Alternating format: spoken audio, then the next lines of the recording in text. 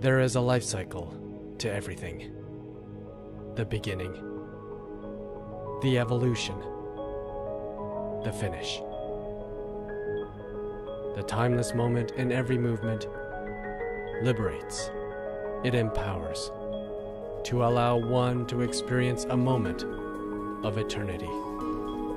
We live for this brief moment to give light, and we exist to inspire life.